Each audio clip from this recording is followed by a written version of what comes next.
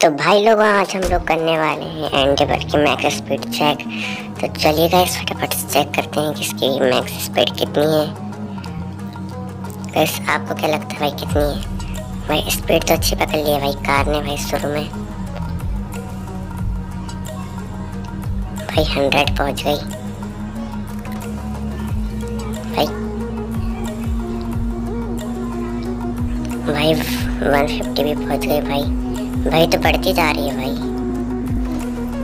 Gas one seventy six तक पहुँची थी गैस, एक और बार देखते हैं कि कहाँ तक पहुँचती है।